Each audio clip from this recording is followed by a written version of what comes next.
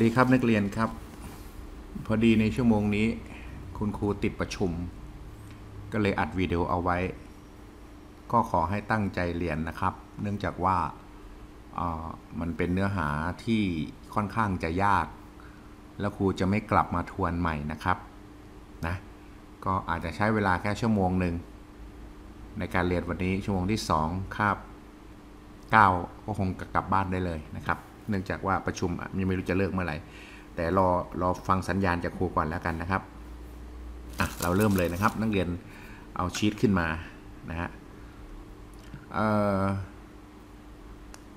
สำหรับต่อไปนี้ก็เป็นบทที่2นะครับบทที่ 2 มีชื่อว่ามวลแรงและกฎการเคลื่อนที่ของนิวตันนะฮะสำหรับมวลแรงและกฎการเคลื่อนที่ของนิวตัน อันที่หนึ่งก็คือเรา ศึกษาเรื่องเกี่ยวกับมวลก่อนนะครับ มวลคืออะไรนะครับ มวลก็คือเนื้อของสารนะฮะมวลคือเนื้อของสารคำว่ามวลเนี่ยภาษาอังกฤษเขาใช้คำว่า mass นะฮะใช้คำว่า mass เพราะฉะนั้นคำว่ามวลจึงใช้สัญลักษณ์คือตัวตัว m แทนคำว่ามวลนะครับ มวลเนี่ยเป็นปริมาณอ่ามวลมีหน่วยเป็น กิโลกรัมนะฮะ หรือ kg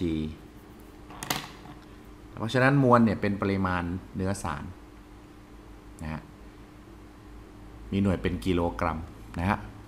มวลเป็นปริมาณคงที่นะฮะ อันนี้สำคัญมาก มวลมีค่าคงที่ ไม่ว่ามันจะไปอยู่ที่ไหน มวลจะเท่าเดิมนะฮะ อันนี้คือมวลนะครับ และที่อีกอันหนึ่งก็คือมวลหมายถึงสภาพต้านการเคลื่อนที่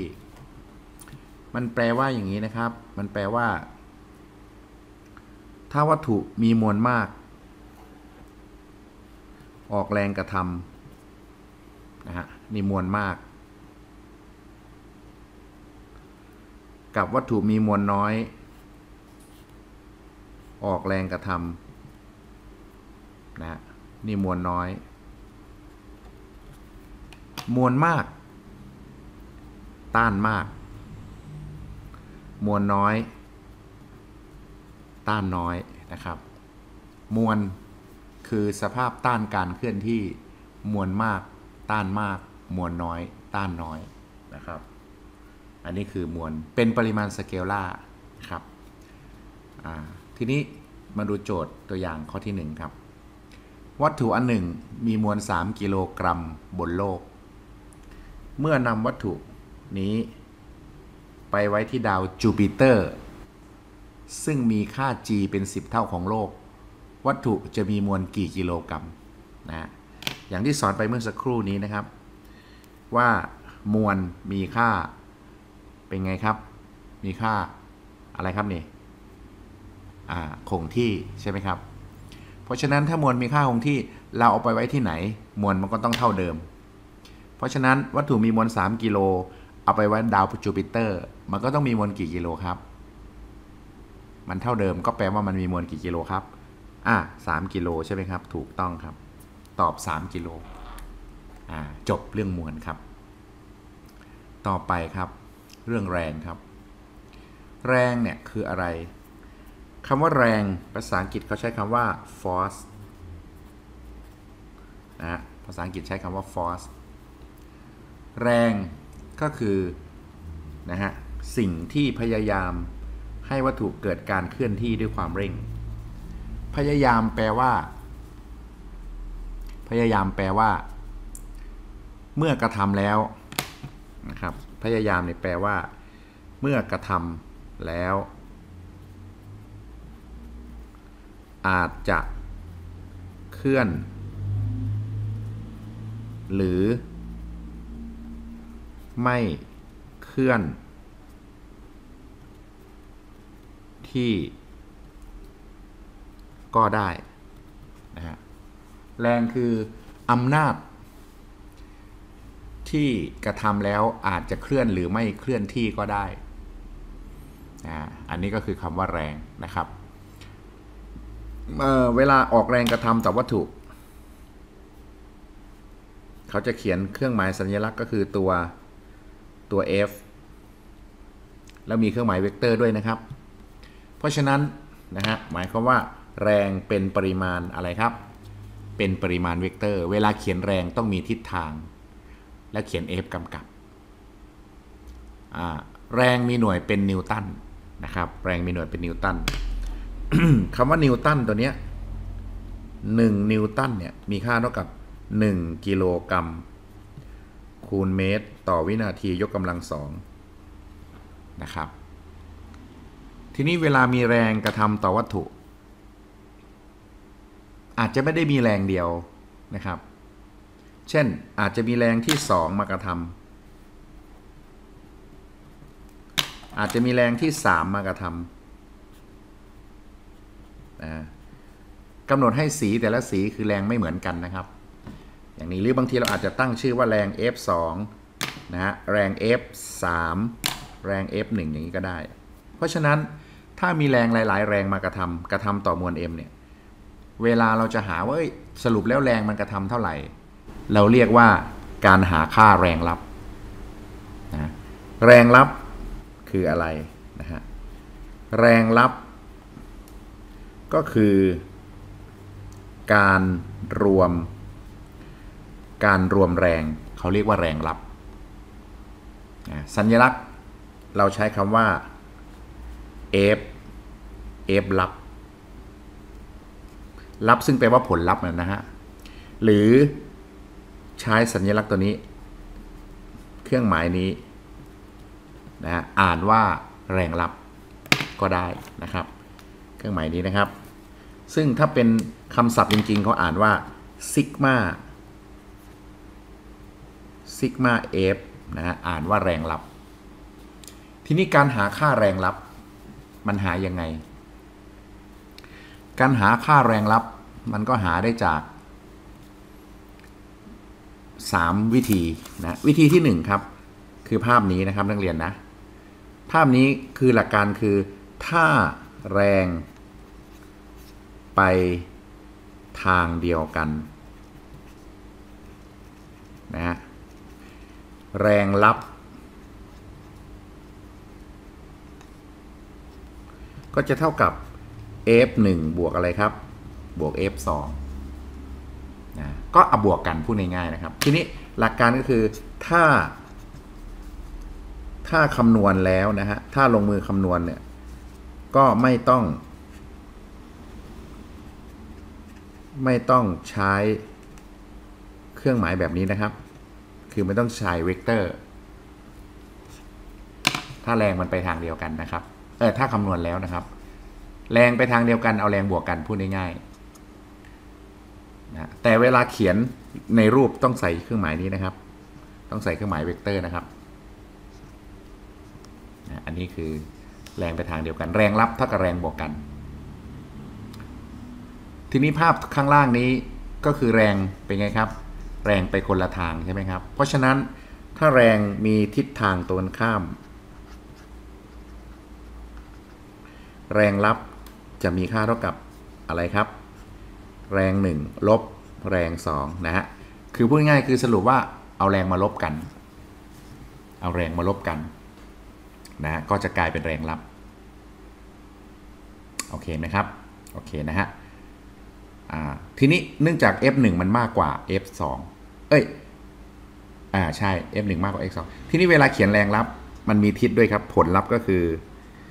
มันจะมีทิศไปตามแรงมาก เพราะนั้นมีทิศไปทางขวา เราต้องเขียนทิศด้วยของแรงรับนะฮะอันนี้คือแรงรับ แบบที่ 1 แบบที่ 2 ง่าย แค่นักเรียนบวกเลขเป็นลบเลขเป็นนักเรียนก็ทำได้แล้วนะครับ แต่แบบที่3นี่ครับนะนักเรียนมาดูแบบที่ 3 ถ้าแรงนะฮะมันไม่ได้ไปทางเดียวกัน เช่น F1 ไปทางขวา F2 ขึ้นข้างบน แต่มันทำมุมกันมุมนี้เป็นมุมเซตาแรงรับมันจะไปอยู่ระหว่าง F2 กับ F1 เขาเรียกว่าแรงรับมีทิศในทิศตะวันออกเฉียงเหนือนะครับ ดังนั้นกรณีนี้มันต้องเกี่ยวข้องกับวิชาตรีโกณนั่นก็คือสูตรแรงรับ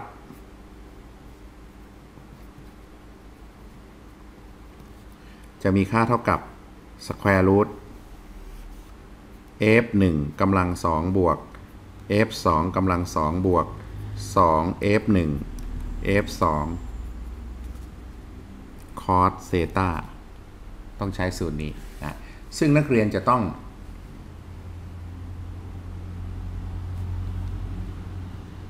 จำมุมที่อาจารย์เคยสอนเอาไว้นะ ค่า cos เซตานะฮะ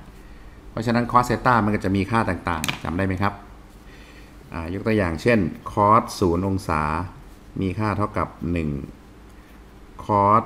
30องศา มีค่าเท่ากับ square root 3ส่วน2 cos 37องศา มีค่าเท่ากับ3ส่วนมีค่าเท่ากับ4ส่วน5 cos 45มีค่าเท่ากับ square root 2ส่วน2คอส 2 cos 53มีค่าเท่ากับ 3 ส่วน5 cos 60 องศา มีค่าเท่ากับ 1 ส่วน2 cos 90 องศา มีค่าเท่ากับศูนย์นะครับเพราะนั้นเลยก็ต้องจำพวกนี้ให้ได้ นี่เฉพาะ cos นะครับ เพราะนั้นอย่าลืม ไป ท่องค่าไซน์เซตาและแทนเซตาด้วยนะต้องไปหาดูเอาว่ามันเป็นยังไงแต่สูตรของเราใช้คอสนะครับ ถ้าทำมุมกันแบบนี้ f รับจะเท่ากับ f 1กำลัง2บวก f 2กำลัง2บวก2 f 1 f 2 cos เซตานะครับโอเคนะครับ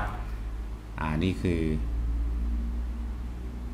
แรงพื้นฐานนะฮะ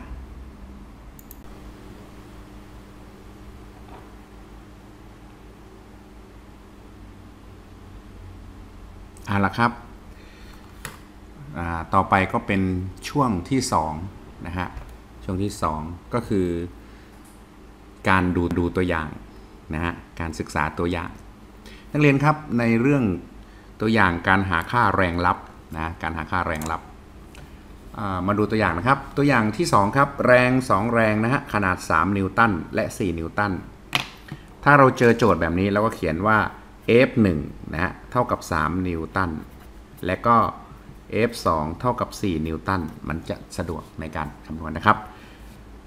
กระทำต่อวัตถุชิ้นหนึ่งณจุดเดียวกัน จงหาขนาดของแรงรับ ถ้ากกระทำในทิศเดียวกัน ขอกระทำในทิศตรงข้าม คอตั้งฉากกันนะฮะเพราะนั้นโจทย์แต่ละข้อเราก็ต้องวาดรูปให้เข้าใจง่าย ๆนะครับ ข้อกอเขาบอกว่าแรง 2 แรงนะครับ นะกระทำในทิศเดียวกัน ก็คือ F1 กับ F2 ไปทางเดียวกัน อย่างนี้นะ F รับง่ายไหมครับ ง่ายไหมครับ ง่ายนะครับ ก็คือเอา F1 บวกอะไรครับ บวก F2 เพราะฉะนั้นก็3บวก4เป็นอะไรครับ เป็น 7 นิวตัน จบกอไก่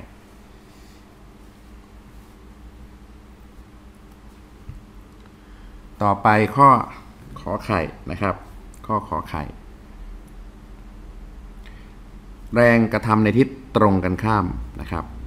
เราก็วาดรูปเหมือนเดิม f 1ไปทางขวานะครับ f 2ไปทางซ้าย ก็แล้วแต่จะเขียนนะครับ แต่มันจะต้องตรงข้ามกัน นักเรียนอาจจะสลับแรงกับมาเหมือนไม่เหมือนกับครูก็ได้นะครับ ถ้ามันตรงข้ามกัน นะ f รับก็ทำอะไรกันครับ ก็จับลบกัน ทีนี้ครูให้ f 2มันมากกว่า f 1ใช่ไหมครับ เพราะฉะนั้นเวลาจับลบกันเราก็ตั้ง f 2ลบด้วย f 1มันจะได้ง่ายนะฮะ ซึ่งจะมีค่าเท่ากับ 4 ลบอะไรครับ 4 ลบ 3 เท่ากับ 1 นิวตัน ทีนี้เวลาลบกันเนี่ยสำคัญนิดนึงนะครับ เฉพาะกรณีนี้ เนื่องจากว่ามันไปคนละทิศ ผลลัพธ์มันจะไปทางไหนครับ ผลลัพธ์มันก็ไปตามแรงมาก ก็คือ f2 นะฮะ f2 ไปทางซ้าย คำตอบก็คือมีทิศไปทางซ้ายนะครับโอเคนะครับ ต่อไปข้อคอควายครับ เขาบอกว่าถ้าแรงทั้งสองตั้งฉากกันนะตั้งฉากกันก็ F1 ตั้งนะครับ F1 ไปทางขวา F2 ไปทางขึ้นข้างบนนี่คือตั้งฉากกันนะฮะตั้งฉากกันแปลว่าทำมุมกันกี่องศาครับทำมุมกัน 90นะเพราะฉะนั้นผลลัพธ์ของแรงก็จะไปทางทิศนี้นะครับ นี่คือ F รับนะครับ F รับ นะ F รับไปทางทิศตะวันออกเฉียงเหนือนะครับ ทีนี้พอมันตั้งฉากกัน ขอโทษนะครับ ติดคอพอดีนะครับเอ่อ f รับ ก็จะเท่ากับ square root f 1 กำลัง2บวก f 2กำลัง2บวก2 f 1 f 2 cos 90 องศานะครับ แต่เนื่องจากว่า cos 90 องศา มีค่าเท่ากับ 0 ดังนั้นมันจึงเหลือ square root f 1กำลัง2บวก f 2กำลัง2มันจึงเท่ากับ square root 3กำลัง2บวก 4กำลัง2 มันจึงเท่ากับ square root 9บวก16 มันจึงเท่ากับ square root 25 มันจึงเท่ากับ 5 ครับ นิวตัน นี่คือคำตอบครับ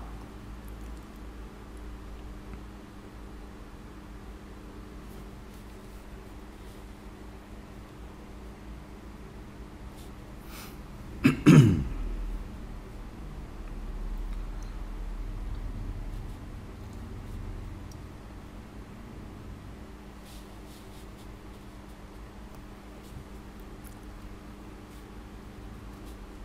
นะครับ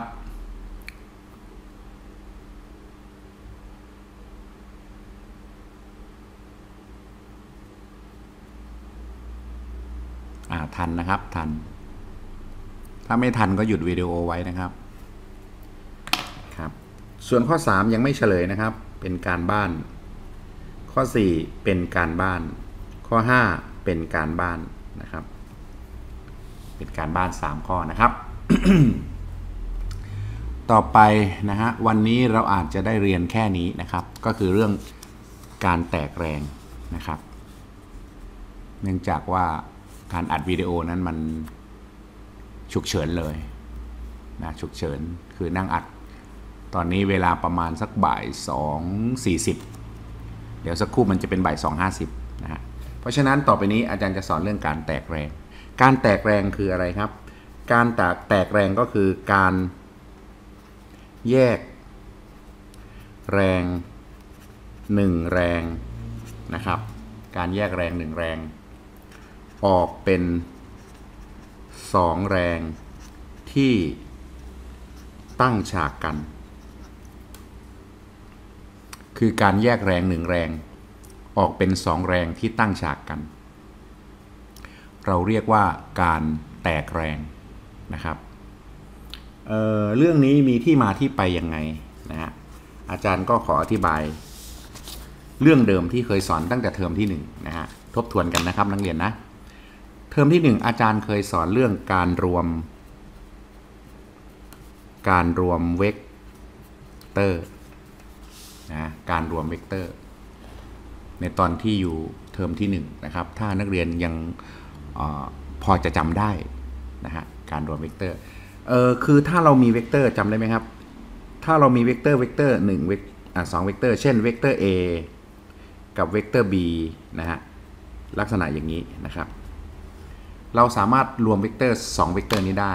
โดยการสร้างรูปสี่เหลี่ยม ด้านขนานใช่ไหมครับจำได้สักเรื่องไหมครับ เดี๋ยวแป๊บหนึ่งครูหาไม้บรรทัดก่อน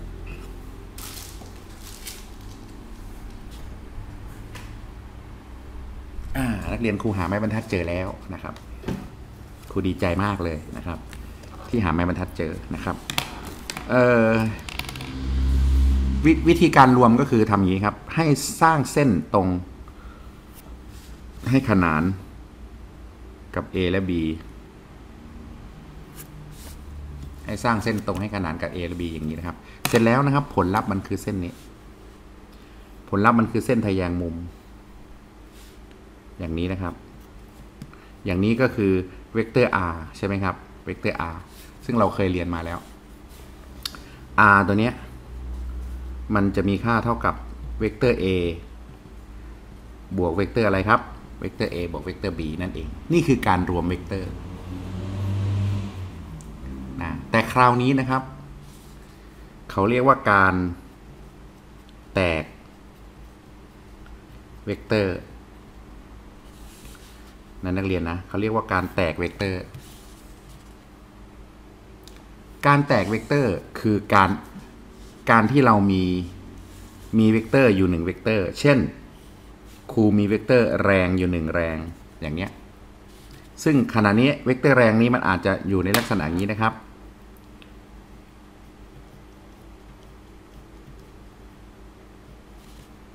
มันอาจจะทำมุม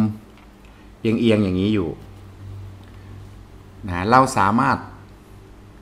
แตกเวกเตอร์แรง f เนี่ยให้เป็นเวกเตอร์ 2 แรงได้นะครับ วิธีการแตกก็คือให้ให้นักเรียนสร้างเส้นแกน y กับเส้นแกน x ขึ้นมา อย่างนี้นะครับ เสร็จแล้วนะครับ นักเรียนก็สร้างเส้นประให้ลงมาตั้งฉากกับแกน x แล้วก็ เส้นประให้ลงมาตั้งฉากกับแกนแกน y นะฮะเมื่อสร้างเสร็จแล้วนะครับ ตรงแกน x มันจะเป็นเงานะฮะไปทางขวา ส่วนแกน y มันจะเป็นเงาขึ้นข้างบน มีทิศทางด้วย นั่นก็คือถ้าเรามองภาพก็คือแกน x กับแกน y รวมกันเป็น f หรือ f แยกเป็นแกน x แกน y เพราะฉะนั้นแกน ทีนี้แกนแกน x เนี่ยมันอยู่ติดมุมนะครับ มันจะกลายเป็น f cos theta ส่วนแกน y มันตั้งขึ้นไปนะครับ มันจะอยู่ไม่ติดมุมครับ มันจะเป็น f sin theta วิธีวิธีการว่าตรงไหนมันจะเป็น f คูณ cos ตรงไหนจะเป็น f คูณ sin ก็คือเทคนิคนะครับ ก็คือว่าด้าน ด้านที่ติดมุมนะครับ จะเป็น เป็นคอสเซตานะครับ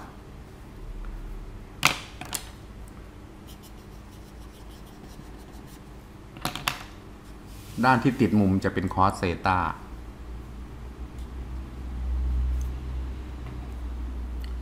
ส่วนด้าน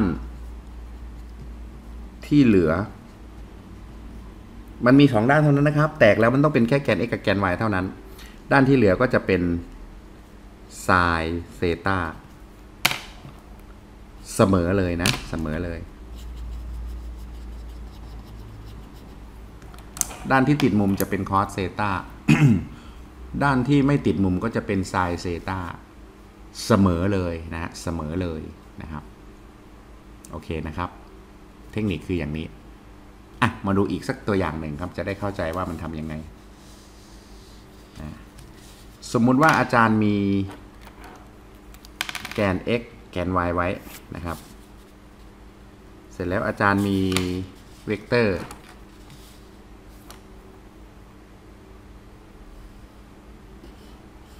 อย่างนี้นะครับ ตัวเดิมเลยนะครับคือตัว f แต่ว่ามุมอยู่ที่นี่ มุมอยู่ที่นี่ ทีนี้พอมุมอยู่ที่นี่นะครับ นะเทคนิคคือทำไงก่อนครับนักเรียนครับ ก็สร้างเส้นจุดลงมาให้ตั้งฉากก่อนนะฮะนี้ครับ เสร็จแล้วแกน x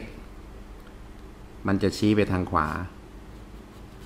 ส่วนแกน y มันจะชี้ขึ้น อย่าลืมนะครับ ตรงเนี้ย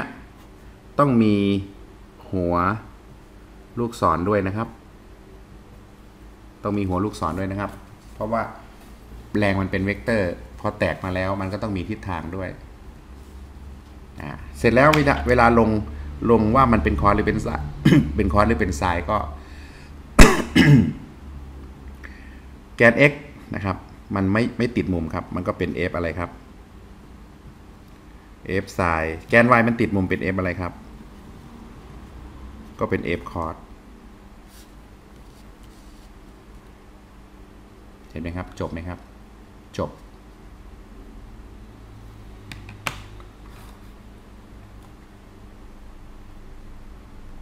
เดี๋ยวสักครู่หนึ่งครูจะให้การบ้านนะครับ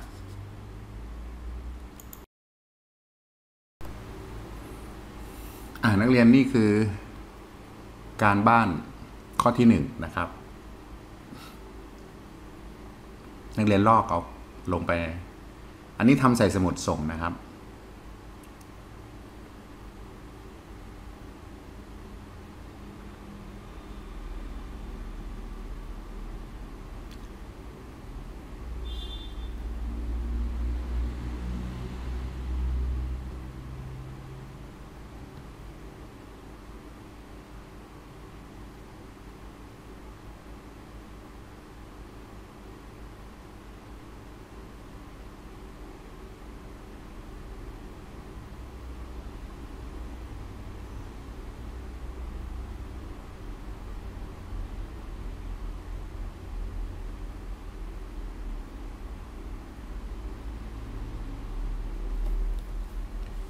ไปนี่คือข้อที่สองนะครับ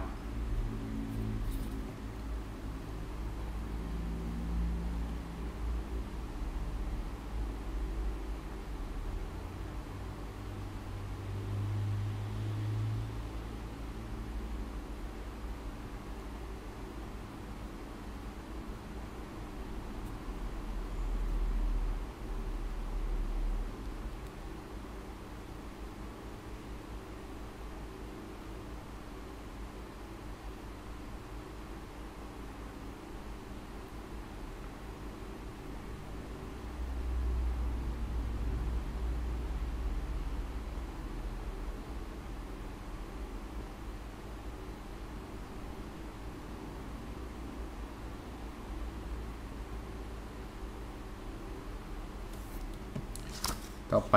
อันนี้คือข้อที่สามครับ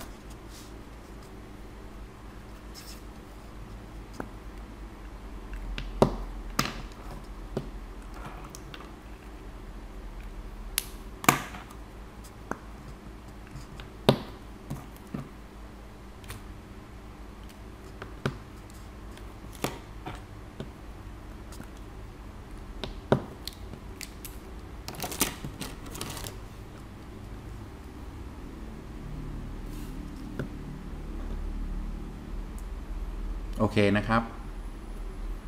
ในในวันนี้เราคงจะได้เจอกันแค่นี้แล้วก็ เดี๋ยวปิดไฟปิดห้องอะไรให้เรียบร้อย แล้วก็กลับบ้านได้เลยนะครับ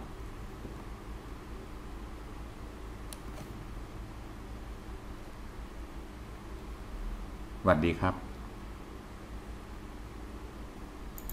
น้ำหนักคืออะไรนะครับ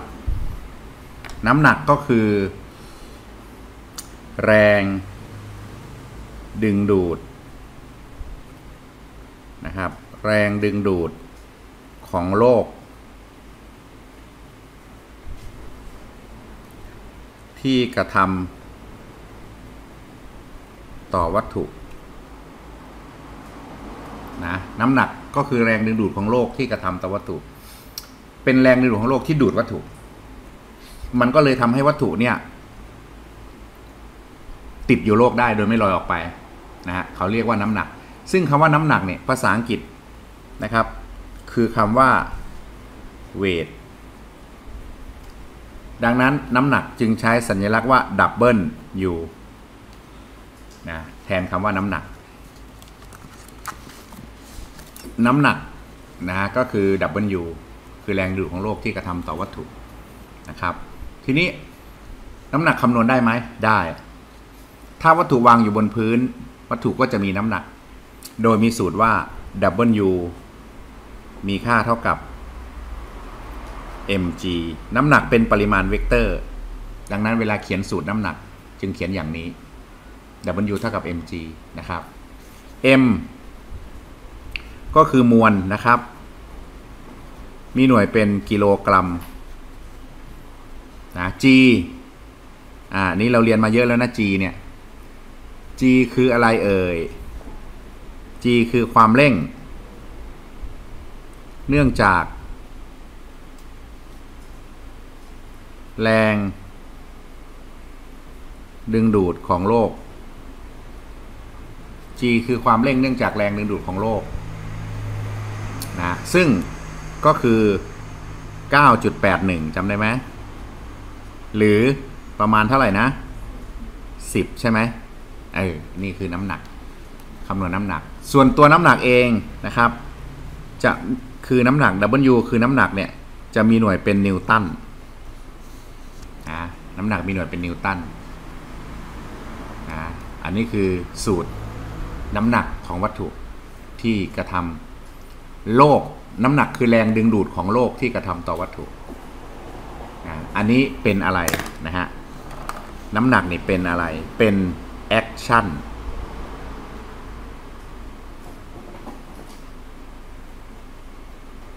เป็นแรงกิริยา เป็นแรงกิริยา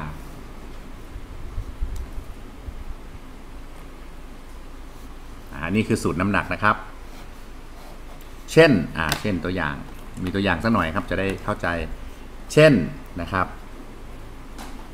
ถ้าวัตถุ มวล m เท่ากับ 5 กิโลกรัมง่ายๆเนาะเพราะนั้นก็จะมีน้ำหนัก W เท่ากับ mg นะก็เท่ากับ 5 คูณ 10 ตอบเท่าไหร่ครับ 50 นิวตัน นี่คือการคำนวณน้ำหนักง่ายๆนะครับ เอามวลคูณ 10 ก็ตอบเป็นนิวตันแล้วนะทีนี้น้ำหนักเนี่ย เป็นปริมาณเวกเตอร์นะมีทิศน้ำหนักจะมีทิศลงสู่พื้นโลกเสมอเนี่ยน้ำหนักก็คือเส้นสีเหลืองนี้ เวลาเขียนน้ำหนัก มันจะมีทิศพูดง่ายคือมันจะมีทิศไปที่จุดศูนย์กลางของโลก เพราะนั้นน้ำหนักเนี่ยนะฮะ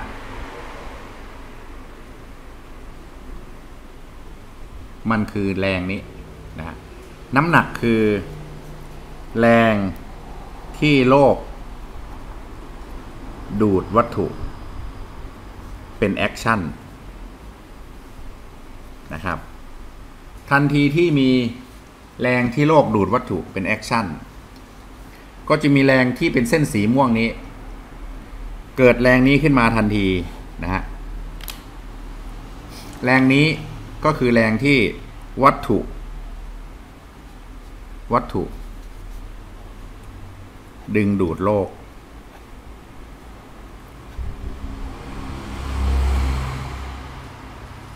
เป็น reaction นะครับ เพราะนั้นเวลาเวลามีน้ำหนัก น้ำหนักก็คือแรงที่โลกดึงดูดวัตถุ เขาจะถามว่าเออแรงเนี้ยเป็นแรงปฏิกิริยากับแรงอะไร ตอบได้เลยครับว่าเป็นแรงปฏิกิริยากับแรงนี้ คือแรงที่วัตถุวัตถุก็ดูดโลก อย่างเช่นขณะนี้มีแรงที่โลกดึงดูดเรา ตัวเราเองก็มีแรงดึงดูดโลกเท่ากันด้วยนะครับ เพราะฉะนั้นแรงนี้คือแรงปฏิกิริยา มันเกิดขึ้นที่ไหนตรงเนี้ย มันเกิดขึ้นที่ เกิดขึ้นที่จุดศูนย์กลางของโลกนะมันเกิดขึ้นที่จุดศูนย์กลางของโลก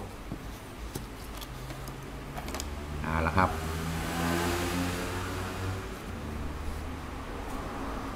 เรามาดูครับว่า เมื่อรถวางอยู่บนพื้น ก็จะมีน้ำหนัก น้ำหนักของรถ เวลาเขียนน้ำหนักของรถเขาจะเขียนจากจุดศูนย์กลางนะครับ แล้วก็มีลูกศรชี้ลงมา แล้วเขียนคำว่าน้ำหนักว่าน้ำหนักแทน แต่ว่าในการเขียนของครูนะครับ ครูจะไม่เขียนคำว่าเวทเลยนะครับ ครูจะเขียนคำว่า W แรงนี้คือแรงที่น้ำหนักของรถ มันกดลงไปที่ไหนครับ กดลงไปที่พื้นนะครับ เมื่ออะไรก็ตามที่มีน้ำหนักรถกดพื้น ที่ล้อรถ ก็มาแล้วครับล้อรถล้อรถก็จะเกิดอะไรครับ เกิดแรงอะไรครับ แรงปฏิกิริยา ที่ พื้น ดัน ดันล้อรถนะครับนี่ครับ ถ้าล้อรถ ไม่ได้มีล้อเดียวถูกไหมครับ ริง ๆ แล้วภาพนี้มันต้องมีสี่ล้อ แต่เรามองด้านข้างเราเห็นสองล้อ เพราะนั้นแรงปฏิกิริยาที่ดันพื้น มันต้องมีทั้งหมดกี่ที่ครับ มีทั้งหมดกี่ที่สี่ที่นะครับ ถ้าเราเอารถวางบนพื้น อย่างนี้ครับ มันจะมีแรงปฏิกิริยาหนึ่งสองสามสี่สี่ที่เลยนะครับ แต่ภาพนี้มันเห็นแค่กี่ที่ครับ สองที่ เพราะฉะนั้นแต่เนื่องจากว่ารถเนี่ยมันมีถือว่าสม่ำเสมอ เพราะฉะนั้นตรงนี้ n ตรงนี้ก็ n ครับ คือแรงมันจะเท่ากัน ให้ถือว่าแรงมันเท่ากัน แต่ความจริงถ้ามีผู้โดยสารก็ไม่เท่ากันหรอกครับ ถ้ามีคนไปนั่งอยู่ข้างหน้าเยอะๆแรงปฏิกิริยาข้างหน้าก็ต้องมากกว่าข้างหลัง แต่อันนี้อาจารย์ต้องการสอนว่า เวลามีวัตถุกดพื้น จะต้องมีแรงนี้เสมอจำไว้นะครับ เพราะฉะนั้นบางครั้งวัตถุมันไม่ใช่รถ เช่น วัตถุเป็นแค่ก้อนสี่เหลี่ยมธรรมดาอย่างนี้นะครับ หนูก็สามารถเขียนแรงได้ว่าหนึ่งต้องมีแรงนี้เสมอนะลูกนะ คือแรงน้ำหนัก น้ำหนักจะมีทิศตั้งฉากกับพื้นสองจะมีแรงนี้เสมอนะครับ ก็คือแรงปฏิกิริยาหนูเข้าใจไหมครับนี่น้ำหนักกับแรงปฏิกิริยานะต้องมีเสมอนะครับ แต่ถ้าเรายกรถขึ้น น้ำหนักเหลืออยู่นะครับ แต่แรงเอ็นนี่จะหายไปนะครับ ถ้าเราถ้าเรายกรถขึ้นจากพื้นอย่างนี้นะฮะพอยกขึ้นปั๊บไอ้นี่หายเลย เพราะว่ามันมมันไม่มีการสัมผัส มันจะเกิดแรงปฏิกิริยาก็ต่อเมื่อมีกดลงไปอย่างนี้ถึงจะได้นะครับ โอเคครับอ้าวต่อไปครับ การเขียนเวกเตอร์แสดงน้ำหนัก เวลาหนูไปเจอนะเราจะต้องเขียนเขียนเขียนรูปแบบนี้ให้ได้นะครับ ถ้าเขียนไม่ได้เนี่ย เราจะไม่คำนวณได้เลยในกฎของนิวตันนะครับ เพราะฉะนั้นถ้าวัตถุวางบนพื้นปั๊บนี่ต้องเขียนน้ำหนักทันที W เท่ากับ mg ถ้าผูกเชือกห้อยอยู่ก็ W เท่ากับ mg เห็นไหมครับว่าน้ำหนักจะต้องลงในแนวดิ่งเสมอ น้ำหนักต้องมีทิศนะครับ ในแนว ในแนวดิ่งนะครับ ในแนวดิ่งนะครับ แล้วก็ตั้งฉากกับพื้น ตั้งฉากกับพื้นราบพูดง่ายๆคือตั้งฉากกับพื้นราบ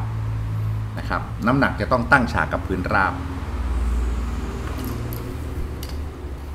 อย่างนี้นะครับ ตั้งฉากกับพื้นราบ ทีนี้ทันทีที่มีถ้าเมื่อไหร่ก็ตามที่มีตรงนี้ขึ้นมานะครับ มีการกดพื้นขึ้นมาปั๊บจะเกิดแรงนี้ทันทีนะจะเกิดแรงนี้ทันทีนะครับปื๊ดขึ้นมาทันทีเลย แรงนี้เรียกว่าแรงปฏิกิริยาทันที เป็นแรงปฏิกิริยาที่พื้นดันวัตถุทันที โอเคไหมครับ นี่แหละครับ ตัวนี้ แต่ถ้าแขวนอยู่บนพื้นไม่มีนะครับ อย่างนี้คือ สมมติว่าพื้นมันอยู่ข้างล่าง ไม่มีมีแต่นี้นะครับ แต่ถ้าวางบนพื้นอย่างนี้ เอาละสิมีไหมครูมีครับ ถ้าวางอยู่บนพื้นอย่างนี้ แรงปฏิกิริยา มันจะไม่อยู่ตรงพื้นข้างล่างนี้นะครับ มันจะอยู่บนพื้นที่วางอยู่ตรงนี้เพราะแรงปฏิกิริยามันจะเป็นอย่างนี้ครับ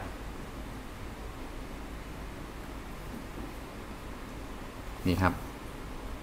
แรงปฏิกิริยานี้จะต้องตั้งฉากกับพื้นนี้เสมอ โอเคไหมครับ